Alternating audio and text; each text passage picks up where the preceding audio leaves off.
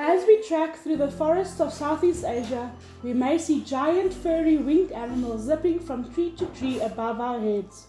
They may be the size of a cat and have the face of a dog, but they are neither. They are called flying lemurs, although ironically they are not lemurs and they do not actually fly. Like flying squirrels, they are gliding mammals belonging to the order Dermoptera, which means skin, skin wings. They are called coologons and only two species are known to exist in the world. The coologon's most distinctive feature is its gliding membrane, the skin that it can stretch out like a parachute. Called a patagium, it stretches from the coologon's shoulder to the tip of its fingers, down to the tip of its toes, continuing down to the very tip of its rather long tail. No other gliding mammal has such an extensive patagium. In addition, their feet are webbed, which gives them even more of a parachute.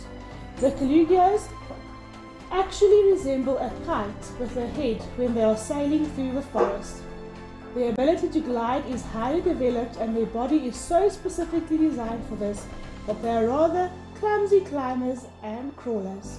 Like primates, they have depth perception which allows them to determine just where they want to land. When a coologon lands on a tree, its sharp claws anchor to the bark. To further secure itself to the tree, it often hugs the branch it is on. It eats leaves, flowers, and fruit from trees it visits. Coologons are nocturnal, and if you look at the picture, you'll see that its eyes glow when they are hit by the light.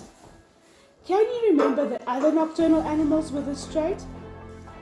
When the female Colugo gives birth, the underdeveloped baby crawls onto her stomach and cling, clings there until it is weaned. The mother carries the baby around everywhere, even when she glides from tree to tree. The patagium can be folded into a warm pouch for carrying the young. That's so sweet.